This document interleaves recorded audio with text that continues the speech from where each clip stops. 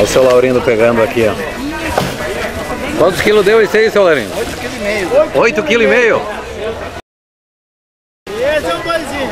Aham. Daí qual é? Da onde que é? Esse aqui nós fizemos, pegamos na chácara do Cadore. Ah, do Cadore? É. Uhum. Esse deu 8 kg e... Meio. 8 kg e meio? É. Vai fazer assado? Bom proveito. então tá. Uma saudação ao nosso prefeito, aos gerentes matéria regional, a Vera, do escritório municipal, toda a sua equipe, a equipe também do regional, Célio, também parceiro como o Emater, e outro representando todos os feirantes.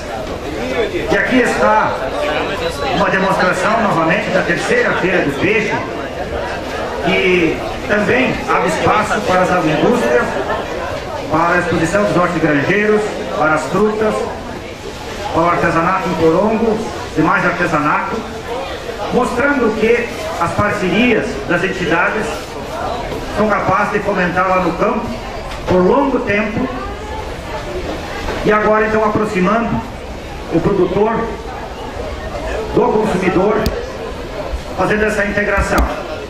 Então uma oportunidade dos produtores disponibilizar, mostrar aquilo que eles são capazes e os consumidores acessarem então produtos fresquinhos, estabelecer relações também de contato, de parceria, para depois nas propriedades também visitar uma outra oportunidade e acessar produto adequado. Então nesse dia maravilhoso, mais uma vez, a terceira feira do peixe que nós fizemos em Frederico Westphalen, onde a comunidade se integra, as instituições se integram para impulsionar aquilo que nós queremos na região, que é o desenvolvimento, a agregação de renda lá no produtor e o consumidor, a comunidade acessando esses produtos. Então eu desejo uma boa feira a todos e agradeço a todos que, que colaboraram, as nossas parcerias, os colaboradores da Secretaria, da Prefeitura, do Sindicato, da Emater e de todos os agricultores e demais instituições que dão apoio.